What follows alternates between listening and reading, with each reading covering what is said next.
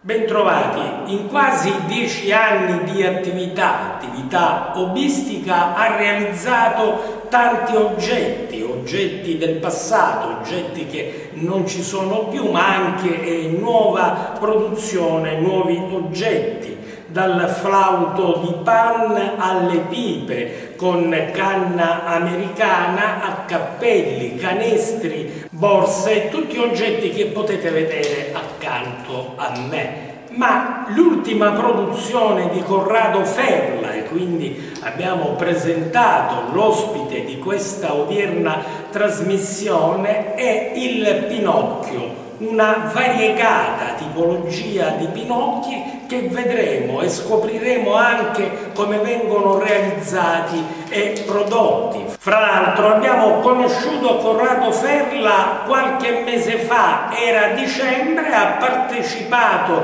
ad un concorso bandito dal comune, concorso che ha poi vinto per la realizzazione di un presepe artistico utilizzando sempre quel materiale che vi stiamo mostrando ora. Eh, vedremo anche come nasce un personaggio, nella fattispecie Pinocchio, dalle mani di Corrado Ferla. Ben trovato.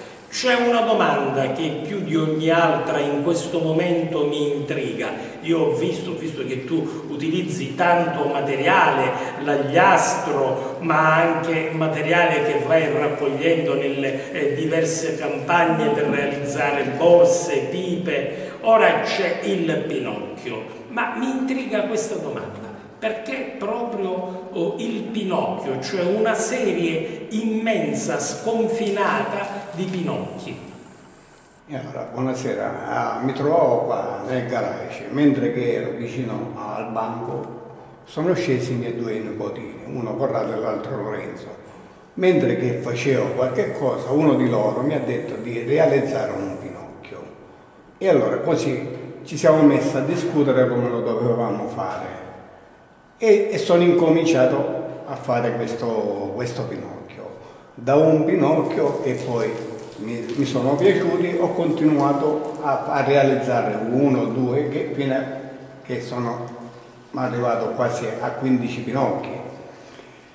Questo Pinocchio ha una, una tradizione che i bambini, basta che sentono parlare di Pinocchio, di questo naso che dicendo le bugie si allunga oppure viceversa, da un senso che si ritorna al passato, da una vecchia storia di Collode.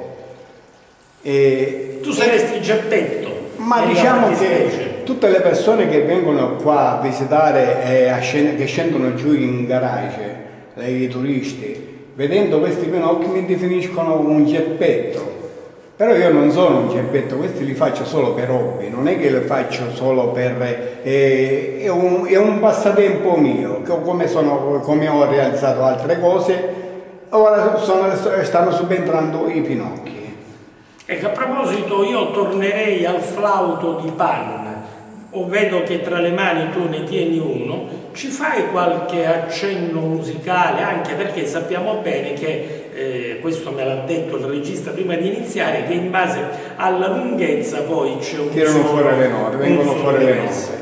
Ora, io non sono pratico personale, però giustamente qualche cosa si nota.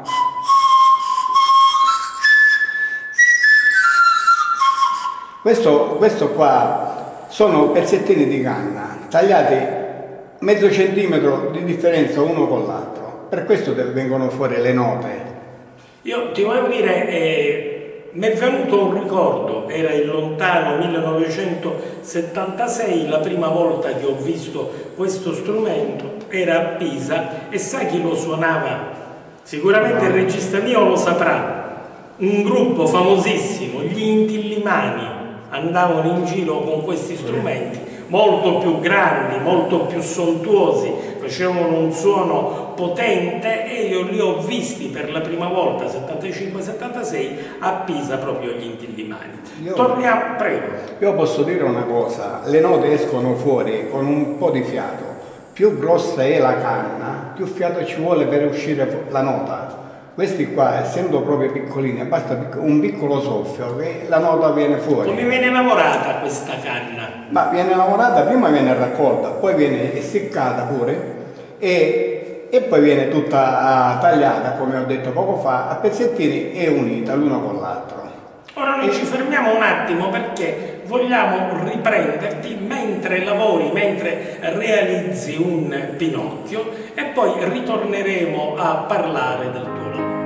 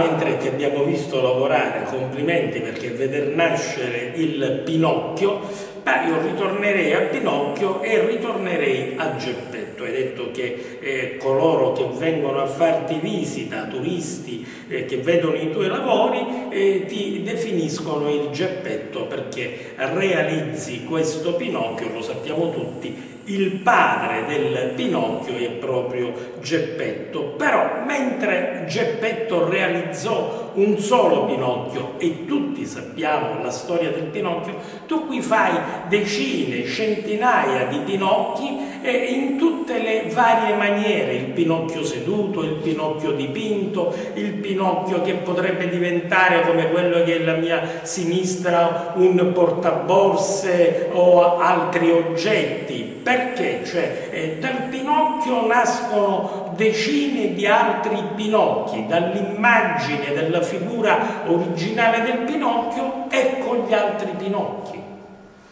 E allora, la storia è giusta che Geppetto ne ha realizzato uno, io invece ne sto realizzando diverse, perché siccome mi piace anche regalarli qualcuno, come già l'ho fatto, regalate, mentre qualcuno che viene qua sotto le piace e ci piace pure comprarselo, portarsi pure un ricordo di Diventa un souvenir di noto. Un souvenir di noto. Il Pinocchio e il geppetto, e il geppetto perché anche, di noto. Anche eh, che io glielo do alla signora, ha il piacere di farsi la foto, di farsi la foto insieme a me come ricordo di chi ha realizzato questo Pinocchio.